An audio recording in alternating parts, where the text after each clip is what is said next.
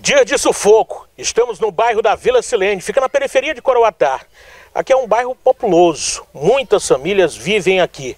Mas desde a última sexta-feira, todos eles aqui estão sem água nas torneiras. Privilégio para quem é aqueles que têm o poço artesiano no quintal de casa. Mas aqueles que não têm, o jeito é carregar água na cabeça com baldes, latas, como muitos que estão saindo desse quintal. Aqui tem um poço artesiano onde é liberado as pessoas a pegarem água quando não tem. Enquanto outras vivem a expectativa da vinda do carro-pipa, que ficou de vir nesta quarta-feira. Alguns moradores amanheceram com baldes e panelas na porta de casa, esperando a água chegar. O poço aqui do bairro da Vila Silene, segundo os moradores, a bomba deu um problema técnico.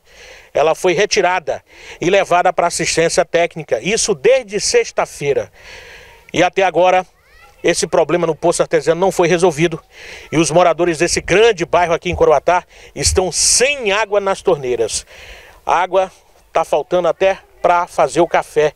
E muitos moradores amanheceram carregando água em baldes, em latas e vindo aqui desse terreno onde tem um poço artesiano, onde é daqui que boa parte desse bairro estão pegando água para ter em casa. Situação difícil e que até agora a Caima não resolveu o problema no poço.